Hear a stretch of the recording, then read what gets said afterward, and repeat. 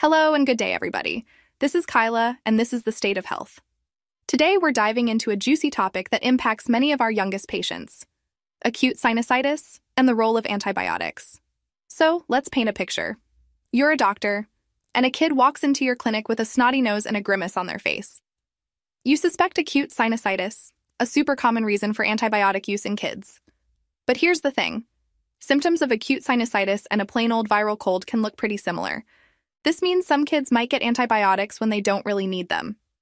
If we could figure out which kids are unlikely to benefit from antibiotics right at the time of diagnosis, we could cut down on unnecessary antibiotic use. And that's a big deal. This study we're going to talk about was looking at two main ideas.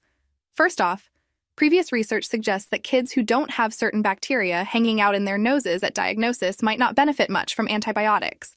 Secondly, they wanted to see if kids with clear snot were less likely to benefit from antibiotics than kids with colored snot. So, they gathered up a bunch of kids, aged 2 to 11, who met the criteria for acute sinusitis. Then they randomly assigned them to receive either an antibiotic, amoxicillin and clavulanate potassium, or a placebo for 10 days. They were looking to see if the symptom burden differed between groups based on whether they had the bacteria present and the color of their snot. The results? Well, those in the antibiotic group experienced significantly lower symptom burden than those in the placebo group, with a median time to symptom resolution of seven days compared to nine days. The kids in the antibiotic group were less likely to experience treatment failure, develop an ear infection, or receive additional antibiotics. But here's where it gets interesting. The effectiveness of the treatment was significantly different between children with and without those bacterial pathogens. Kids with these bacteria in their noses, had lower symptom burdens when treated with antibiotics. But in kids without these bacteria, which made up about 28% of all kids in the study, the difference in symptom burden wasn't as pronounced. Now, what about the snot color? The results showed that the effectiveness of antibiotics didn't significantly differ between kids with colored snot and those with clear snot. So, the color of nasal discharge shouldn't really impact our decision to prescribe antibiotics. What's the takeaway?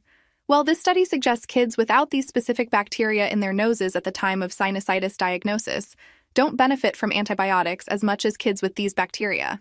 This could be a game changer in reducing unnecessary antibiotic use.